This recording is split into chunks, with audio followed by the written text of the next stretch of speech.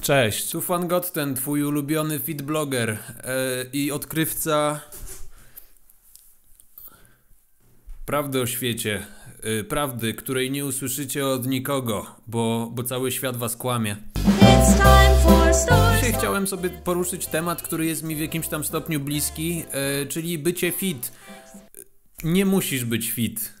Dzięki, to wszystko na dziś. Adam Wawrzyński, Fan Gotten. Do usłyszenia w kolejnym odcineczku. Być może sam tytuł filmu i te rzeczy, które przed chwilą powiedziałem, są dla was banalne. No i pojawiają się w tych wszystkich y, blogowych kompilacjach w stylu.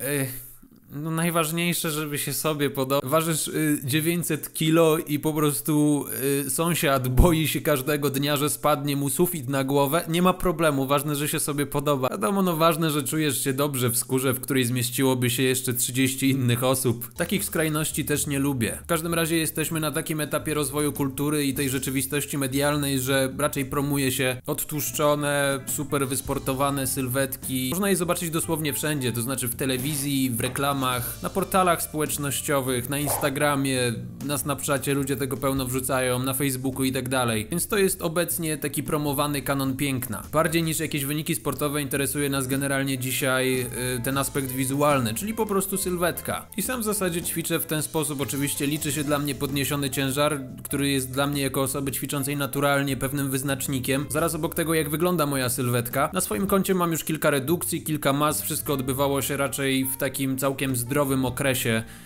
odcinku czasu. Ćwiczę od kilku dobrych lat, staram się, żeby ta forma mniej więcej szła do przodu, albo żebym przynajmniej się nie cofał. Oczywiście wszystko to odbywa się totalnie hobbystycznie, nie zamierzam nigdy nigdzie startować, robię to dla siebie i w ramach. Głównie dlatego, że siedzę bardzo dużo przed komputerem, pracuję w ten sposób, odpoczywam w ten sposób, więc siłownia jest akurat zupełnie innym światem, który pozwala mi odetchnąć i po prostu wbrew pozorom naładować baterię. Ale szczerze mówiąc, powiem wam, że, że to nie zmieniło jakoś tak totalnie mojego życia, w sensie nie czuję się z 10 tysięcy miliardów razy zdrowiej. Kiedy byłem u skraju redukcji, co było może z miesiąc temu i wyglądałem uważam całkiem dobrze, przynajmniej na- najlepiej jak kiedykolwiek wyglądałem i ważyłem, e, no schudłem 18 kg, jadłem jakieś 2 i 2, ponad trochę ponad 2000 kalorii, czyli to jest całkiem mało jak na mój wzrost i moją wagę, to znaczy no teraz 192 cm wzrostu i waga aktualna to jest 82 kg i, i, i w sumie ta waga cały czas się utrzymuje. I to, co czasami nie jest oczywiste dla bardzo dużej ilości osób, które nie siedzą w tym temacie tak głęboko, ten wygląd zewnętrzny, to znaczy jakość waszej sylwetki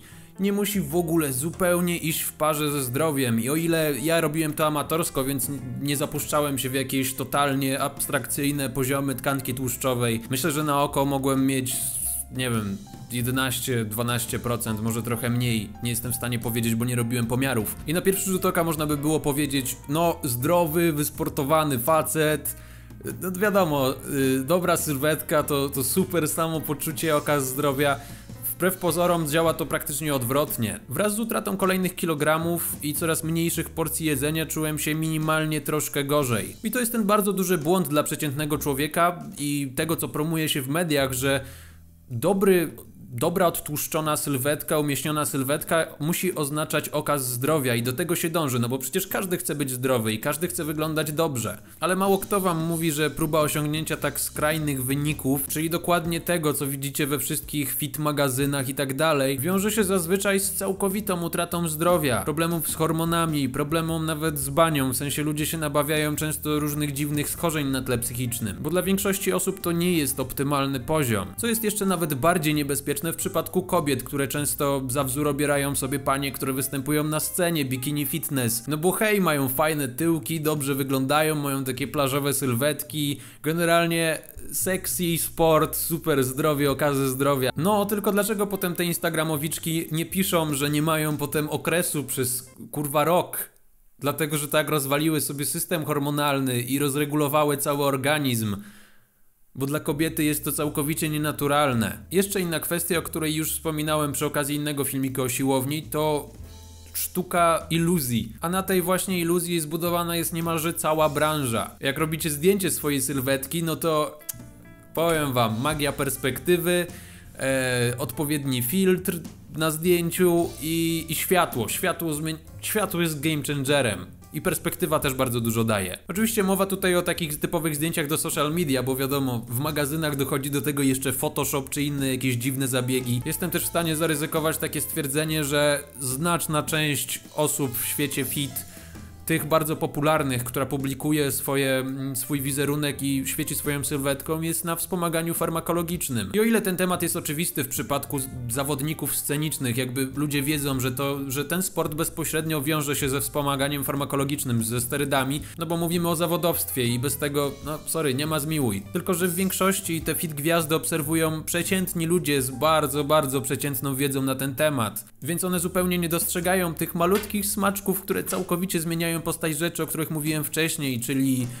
odpowiedniej manipulacji swoim wizerunkiem z pomocą światła, perspektywy, filtrów. No i co, taka przeciętna dziewczyna zacznie się ruszać, yy, może zapisze się na siłownię, zacznie biegać cokolwiek, co jest, cał, co jest bardzo spoko. W sensie to, to jest bardzo duży plus, że ci ludzie promują jakąkolwiek aktywność fizyczną, zwłaszcza w realiach, kiedy wszystko dookoła sprzyja temu, by się w ogóle nie ruszać, by mało chodzić, by siedzieć na dubsku i tak dalej. Ale z drugiej strony taką przeciętną dziewczynę, fankę, czeka po prostu zawód. A jak zawód, to bardzo często utratę motywacji, zniechęcenie i często wmawianie sobie, że to ze mną jest coś nie tak. Przecież robiłam wszystko tak, jak pani Instagram mówiła. Jeszcze inną kwestią jest promowanie swojej wiedzy w tym temacie, które, które nie ma absolutnie żadnych podstaw merytorycznych i opiera się na no, wydaje mi się, że tak jest, albo no ja tak czuję, więc tak robię. Wśród ludzi, którzy niby świecą swoimi sylwetkami, ale tak naprawdę jedyne do czego się nadają w tych kwestiach to cieszenie oka i to jest spoko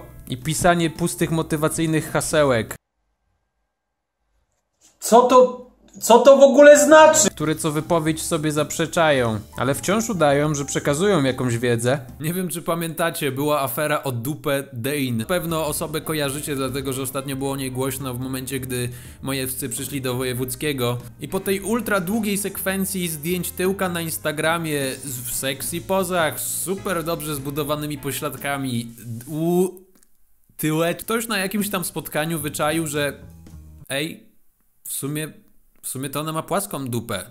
Czemu, czemu wygląda tak dobrze na Instagramie? I on, wiem, że to są problemy pierwszego świata, ale wciąż jest to dosyć poważna kwestia, kwestia kreacji rzeczywistości, kreacji wizerunku, bardziej imidżu w internecie, który zaczyna być sporym problemem w momencie, gdy ludzie zaczynają do niego dążyć, zaczynają się do niego porównywać i tak dalej, tylko że cały czas porównują się do fikcji. Kolejne dwa tematy, które chciałbym chociaż troszeczkę dotknąć, dlatego że one w sumie zasługują na dwa zupełnie osobne materiały. Hura, optymizm i promocja osiągania szczęścia za wszelką cenę i dwa, promocja dawania z siebie wszystkiego na każdym kroku, wiesz stary, po prostu każdy dzień to walka, każdy dzień jak jak w 300 Spartan, nie? Ty jesteś Leonidas, rzeczywistość to są Persowie i, i jeb optymizmem i promocją osiągania szczęścia za wszelką cenę, co jest ważne, za wszelką cenę jest taki paradoksalny problem, że to rzuca nas w taki dziwny jakiś marazm, jakiś hipnotyczny stan, w którym bezwzględnie musimy osiągać sukcesy. Ale hej, w jakim fikcyjnym świecie jest to możliwe, żeby, żeby cały czas y, być tym pozytywnie nakręconym, napompowanym, zawsze odnoszącym sukcesy, czasami po prostu się przegrywa. I, I tyle. Nie każdego dnia musisz być okazem szczęścia, zmuszając się, popychając się, porównując się cały czas do innych. To jedna prosta linia do ogromnej frustracji, no bo